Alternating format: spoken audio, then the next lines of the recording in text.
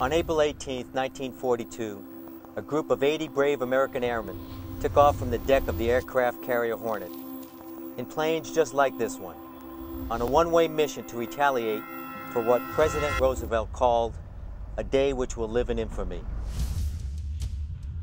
Surviving Raiders have come together annually to pay tribute to their own. Edmund V. Bain. Here. Every year, these goblets are brought to the reunion site. We drink a toast to those who have gone. Were you scared when you jumped out? Oh, yes, you were. Your chances of coming back on this project will be about 50-50. Doolittle in the briefing that morning said, well, if it happens today we have to go, I'm going to get over Tokyo, bomb our target, bail my crew out, and then I'm going to dive my plane into it. Gentlemen, to our dear compadre comrades,